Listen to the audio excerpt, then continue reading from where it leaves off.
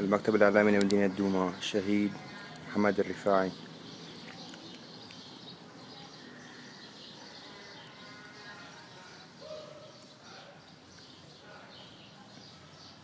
أربعتاش خمسة ألفين وثلاثة عشر